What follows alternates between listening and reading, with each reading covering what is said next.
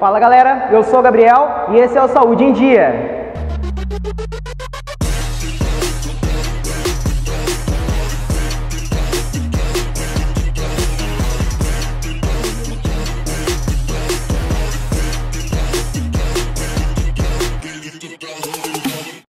Bom, galera, se você não assistiu o primeiro vídeo, corre assistir. No primeiro vídeo eu falei um pouquinho de mobilidade. E o vídeo de hoje tem o objetivo principal de passar algumas orientações para vocês que querem começar a correr, tá? Esse é o segundo vídeo. A gente vai fazer uma série de três vídeos de corrida e a gente vai falar um pouquinho de força muscular hoje para corredores, tá? Então, galera, quando a gente fala em força muscular para corredores, qual que é o significado né, principal disso? é fazer com que o corredor tenha força, né, tenha resistência para fazer os movimentos da corrida e que ele não canse uh, muscularmente. Ou seja, esse corredor ele precisa fazer um treino uh, de exercícios né, contra-resistidos. Quais são esses exercícios? Os exercícios de musculação, tá galera? Os exercícios de musculação vai fazer com que você tenha mais massa muscular. Quando você tem mais massa muscular, uh, você corredor ou que você que nunca correu, você vai absorver mais os impactos, né? O músculo, uma das funções do músculo é absorver mais o impacto. Então você vai ter menos dores nas suas articulações, porque as articulações vão levar menos impacto durante o movimento da corrida. Então esse é um dos objetivos principais da musculação, né, do treino contra resistido.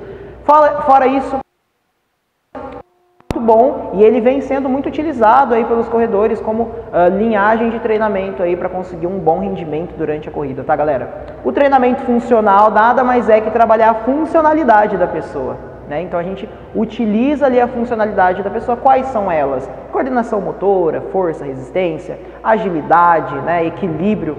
Tudo isso a gente utiliza durante a corrida e é muito bem aproveitado quando a gente faz o treinamento funcional para a linhagem de corredores, né? para as pessoas que querem correr ou para as pessoas que já correm, beleza? Mas nunca esquecendo o treinamento de força, beleza, galera? Como método aí preventivo de lesão e como fortalecimento para a sua corrida, beleza?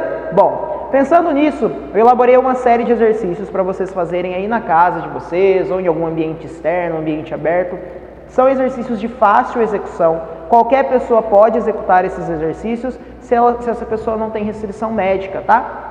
na minha recomendação como personal trainer na faixa etária de 14, 12 anos, até no máximo 65 anos, 70 anos, uma pessoa ativa aí que já corre, pode estar executando esses movimentos, beleza? Como vai funcionar? Então serão três exercícios, tá? Esses três exercícios vocês executarão o movimento por 30 segundos e vão descansar 20 segundinhos. Isso mesmo, 30 para 20 segundos, tá? O que, que vai demandar a intensidade do exercício? A velocidade de execução. Então se vocês conseguirem fazer o movimento um pouquinho mais rápido, melhor ainda. Prestem bem atenção no movimento, porque infelizmente eu não posso estar acompanhando cada um de vocês. Então é, é a necessidade de vocês se policiarem muito para fazer o movimento. Então observa bem o movimento, faz corretamente, pegou bem o movimento, acelera a velocidade de execução.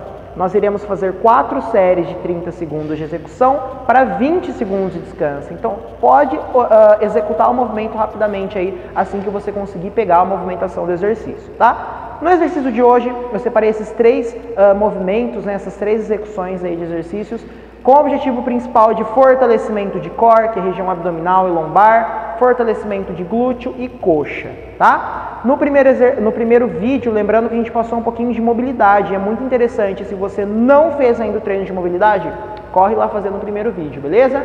Bora lá então, galera? Bom, galera, no primeiro exercício, com as costas bem apoiadas lá no, no solo, pode pegar um colchonete, se não tiver, pode ser uma toalha, mas que fique bem confortável toda a região da coluna uh, lá no solo. Eu vou posicionar os meus braços do lado do corpo, posicionar o meu calcanhar à linha do joelho e vou elevar o meu quadril contraindo o meu bumbum. Objetivo principal, fortalecer ali o glúteo, um pouquinho da posterior de coxa. Desceu, elevo.